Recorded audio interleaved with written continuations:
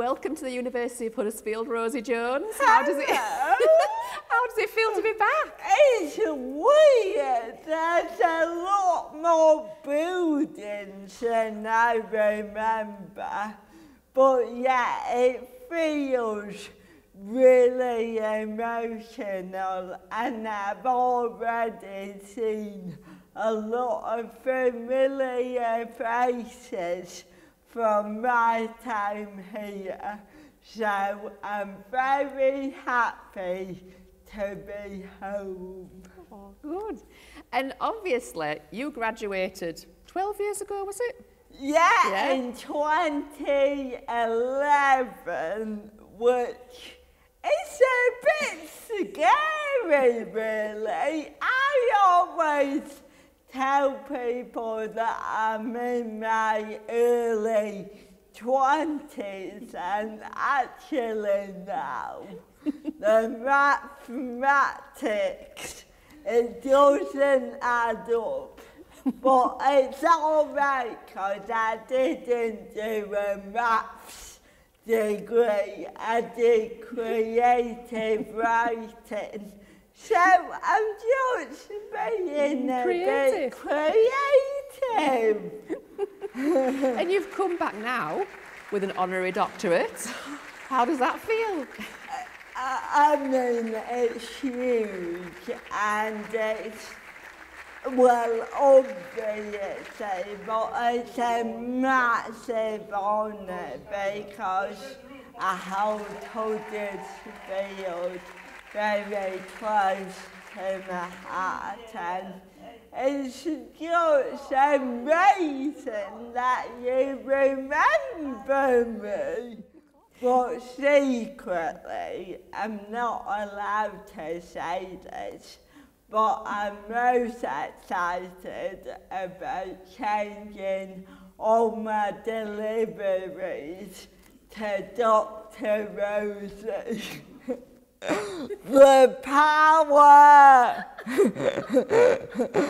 uh, I'm actually already a nightmare. Um, uh, even though to my friends I'm warning them and saying, just so you know, you're gonna have to call me Dr. Jones.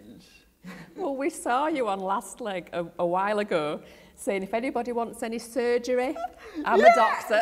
Yeah, you know, I think being a doctor just gives you all the power. So, yeah, any knowledge, any surgery, any diagnosis, I'll have a good it.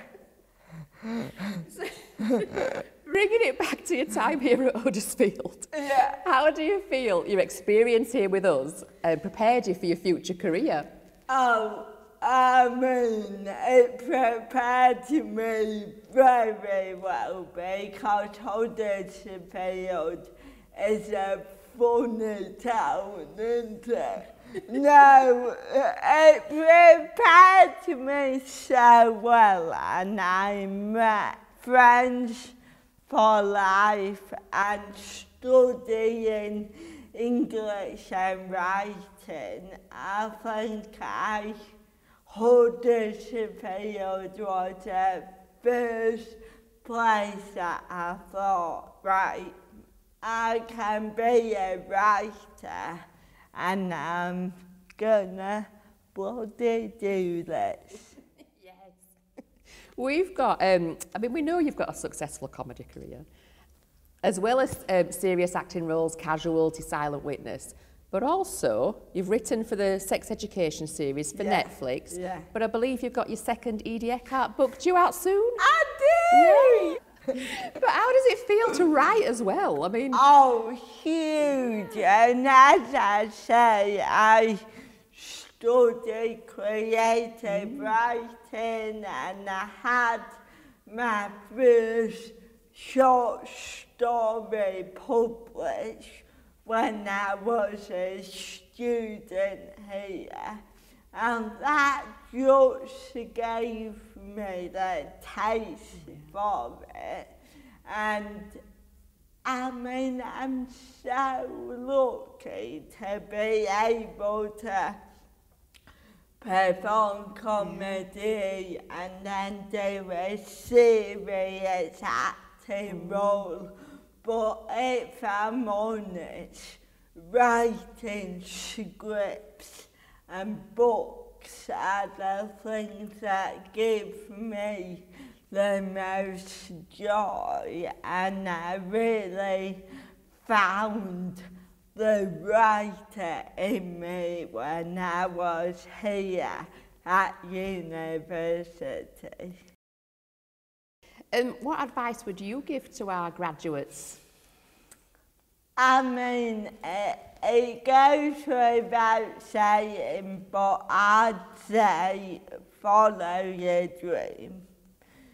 I, when I graduated, I was lucky enough to get a job in TV production. But if I'm honest, I always wanted to be a writer and a comedian.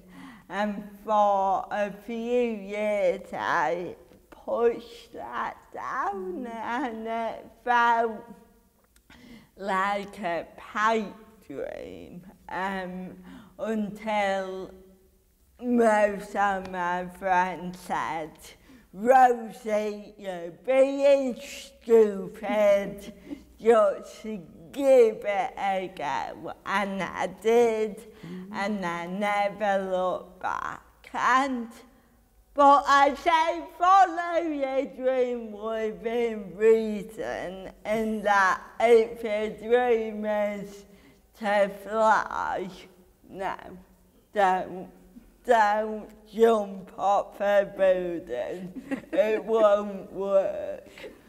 But follow a passion, even if at the beginning it's a hobby alongside your career.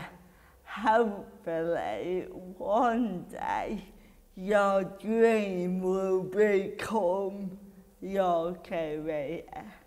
Brilliant. And finally, um, you were named an Attitudes magazine's list of LGBTQ plus trailblazers. As someone who's in the public eye, what role do you feel you have to play for the LGBTQ plus community? It's interesting because growing up being a gay disabled woman, I would read a book or turn on the TV and never see myself staring back. I don't feel like I ever had a role model. So when I started to get a platform, I was aware that I wanted to be as vocal as I could about my disability and my sexuality and just be that person that other people can look at and think, oh, she can do it, I can do it.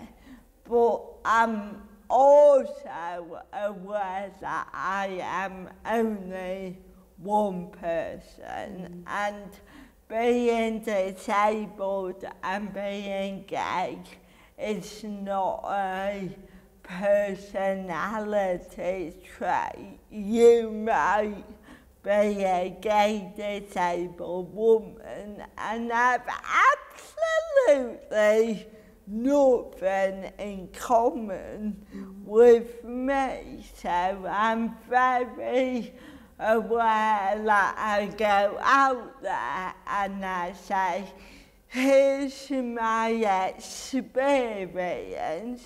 You might have a different one, but if you want to listen to me, learn from me and be inspired by me, good. But at the end of the day, I'm just Rosie.